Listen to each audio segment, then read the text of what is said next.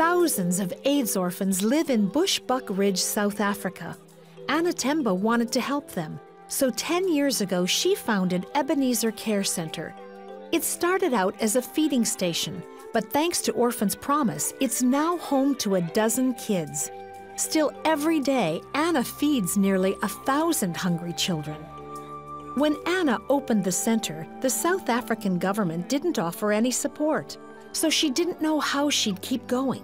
Then God there comes CBN. CBN is helping these children to eat. Fresh vegetables are grown in greenhouses provided by Orphans Promise. This is our extended kitchen. That this is beautiful. CBN. Praise His holy name, Terry. Praise His holy name. Through the help of Orphans Promise, even more children will soon be able to live here full time. During our visit, construction was wrapping up on a brand new dormitory. Anna hopes one day to provide a home for hundreds of children here. She knows with God's help, nothing is impossible.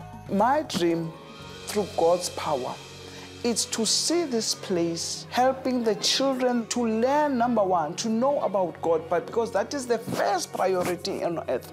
When they come here, they just change. As it says, John 16, God so loved the world we are loved. So what I'm expecting here is children to know, boys and girls, to know that I am loved.